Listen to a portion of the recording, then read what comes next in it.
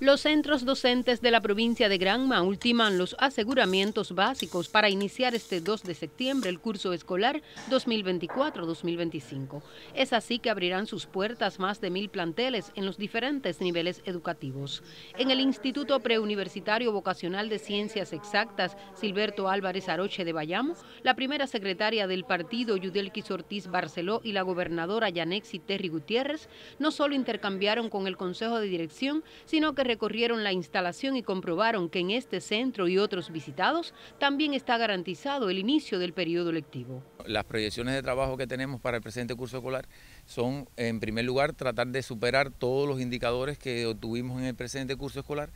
con énfasis en la actividad de concurso. Y otra proyección, otra prioridad fuerte de trabajo que tenemos también es el desarrollo de las pruebas de ingreso a la educación superior, donde el año anterior tuvimos siete, estudiantes que no aprobaron la prueba de ingreso y el objetivo del presente curso es llegar a que el 100% de los estudiantes que se presenten al ingreso aprueben esa prueba de ingreso y obtengan una carrera universitaria con la calidad requerida. Los claustros de profesores y personal de apoyo laboran de manera incesante para dar la bienvenida a los estudiantes. Las acciones fundamentales van desde las áreas fundamentales, de, desde la entrada de la escuela, el área del organopónico, el área también de, las aulas, de todo el área de docente, eh, también el área que, nos, eh, la parte de concurso también, que es una prioridad para nosotros en la escuela. Y eh, creo que esa es la esencia de que nuestros alumnos cuando ya entren a nuestra institución educativa se sientan lo más cómodos, no solamente los alumnos, también